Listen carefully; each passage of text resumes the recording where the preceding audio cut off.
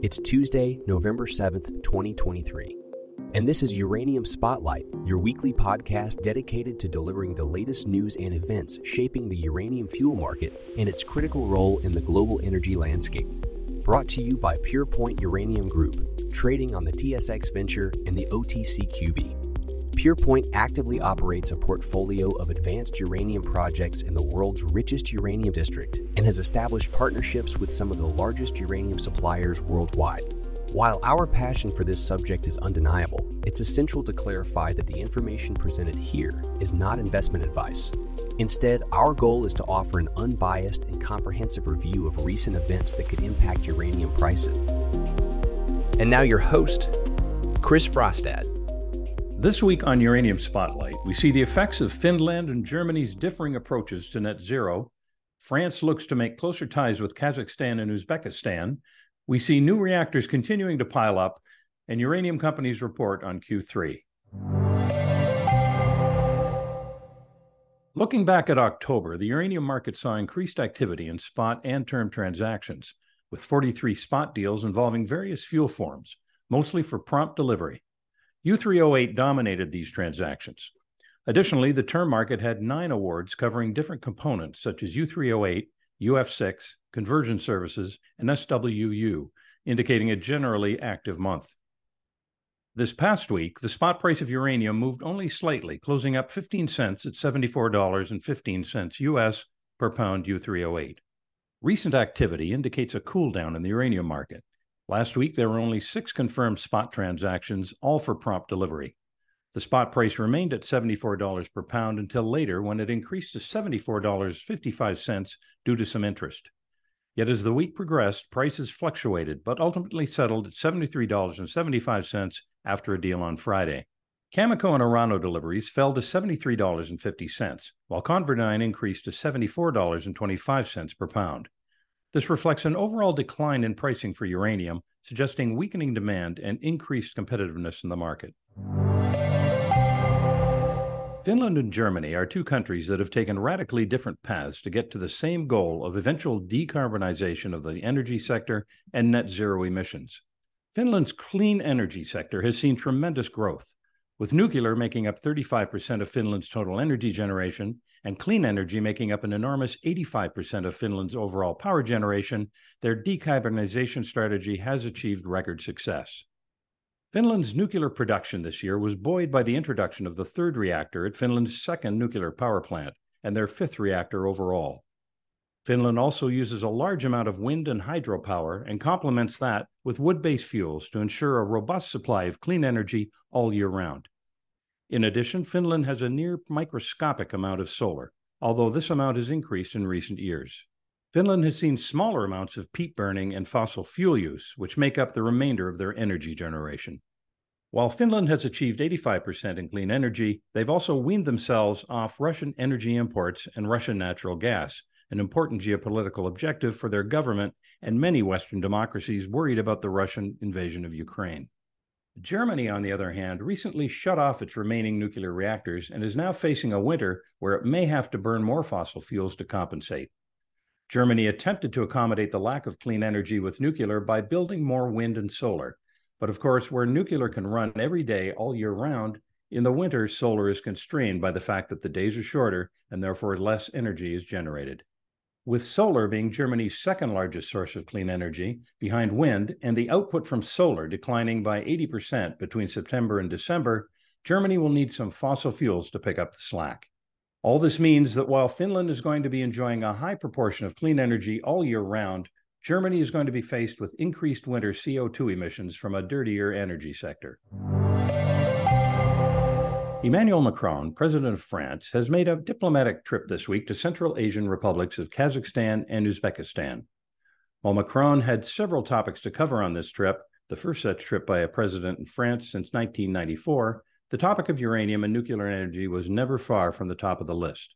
France, which consumes 8,000 tons of uranium every year, is looking for new supplies of uranium since the coup in Niger this year put some 20% of France's supply of the critical mineral at risk. Kazakhstan holds a large supply of uranium, but has promised much of it to its powerful next door neighbors, Russia and China. While Kazakhstan does currently supply 37% of France's uranium and Uzbekistan 12%, both of those numbers will probably need to rise in coming years to meet a growing disconnect between supply and demand, both as geopolitical instability continues in some regions of the world and as countries, including France, look to build more nuclear reactors. Macron left Uzbekistan with no firm commitments, but with a general agreement to foster strategic ties.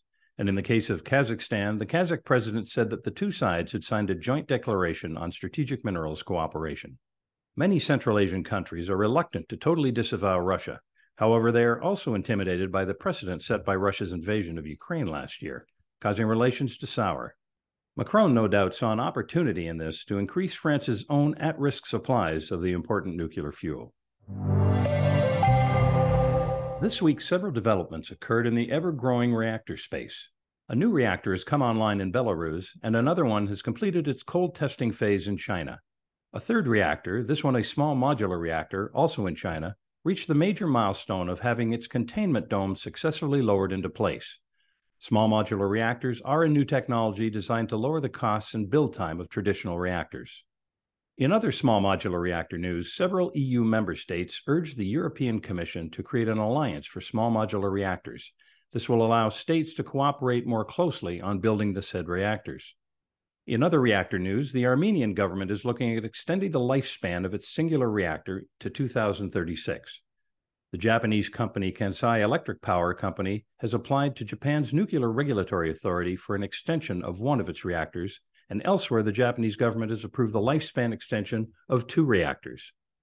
The government of Ukraine has also approved a 10 year lifespan extension for its South Ukraine NPP, and in the United Kingdom, EDF was awarded a contract for the lifespan extension of Sizewell B. All in all, with reactor lifespan extensions keeping the price of uranium from slipping, and new reactors coming online at a regular pace, demand for uranium is projected to continue soaring over the coming years. Last week saw many of the producers releasing their Q3 results. Cameco Corp reported net earnings of $148 million Canadian for the third quarter ended September 30th, 2023, compared to a net loss of $20 million Canadian for the same period of 2022. Kazatomprom's Q3 2023 production slipped 7% However, they are revising their 2023 sales and revenue outlook higher. UR Energy posted their Q3 results as 15,759 pounds U3O8 at their Lost Creek ISR project. Energy Fuels Inc. reported a net profit of $10.6 million US for the third quarter ended September 30th, compared to a net loss of $9.3 million for the same period a year ago. During Q3, the company completed the sale of 180,000 pounds of U3O8 to a major U.S. nuclear utility for $10.5 million or $58.18 per pound U3O8, which resulted in a gross profit of $5.2 million or $28.93 per pound U3O8.